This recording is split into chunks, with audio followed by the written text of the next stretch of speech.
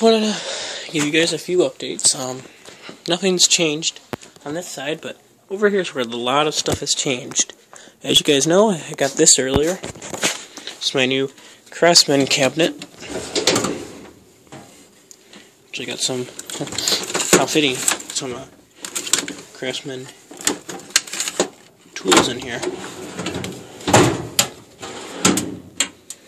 Here's my Craftsman grinder. This is a Kmart double insulated drill, which actually works pretty good. It's older, but it does its job. And uh, my Chicago electric oscillating multifunction tool.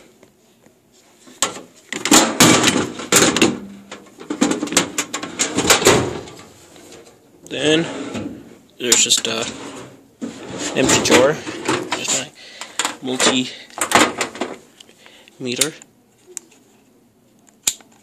It's the uh, paperwork on the cabinet. There's a little uh, service light I got for free. Just gotta get a light bulb in it.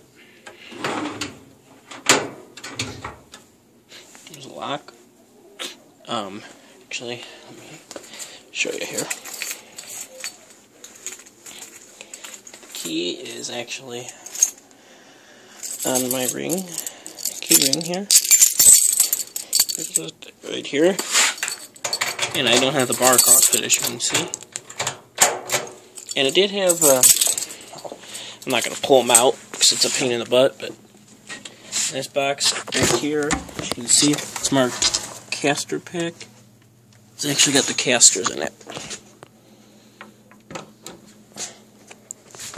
And on the side it's got a magnet for my work to cover some stuff on the side up. I got plenty more. um, and you know, that's just that other toolbox I have had for a long time. Here's my uh, tire clock. There's an uh, extension cord. And this was my grip. It was in his garage, and he didn't want any more, and I wanted one, so I took it and uh, can tell it's just this uh, foam, not that thick, but it's some that I cut out to uh, get around the pole, and then to restick, rejoin the two. That's actually just uh, some of the um, heat duct tape that they would use. Um, but show you here. Right here the, the Nashua. Nashua. Yeah, Nashua, I believe it says. How it's pronounced. But, yeah, it's just a uh, tape which you'd use on like your heat ducts, and this is like a uh, foil tape. There's my those guys, my multimeter. I'm gonna put in there. Oops. Um, How's that? That's bolted in, so that's it's plastic. But this actually comes with the thing too. It's a little uh, uh, foam piece. Then I might cut some of the actual uh, box up and use it.